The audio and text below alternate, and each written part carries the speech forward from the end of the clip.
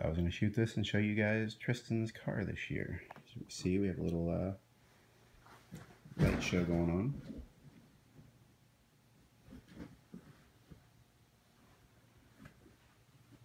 And the black one is the one that took fourth in district.